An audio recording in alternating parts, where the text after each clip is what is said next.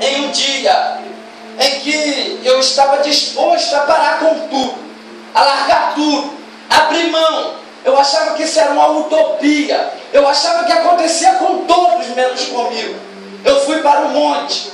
E nesse dia eu falei, Senhor, se tu falares comigo, se tu for comigo, eu largo tudo e sirvo ao Senhor.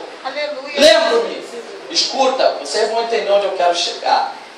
Eu cheguei no monte, não falei nada com ninguém, atribulado na minha alma, sentei no, no monte. Quando um homem veio por detrás do mato, nunca vi aquele homem marchando, falando em línguas estranhas, colocou a mão em mim e falou: me chamou pelo nome, irmão, queira acreditar ou não. Tiago, sincera oração, que tu disseste para mim se eu não falasse contigo essa noite, tu largaria tudo e voltaria da onde eu te tirei.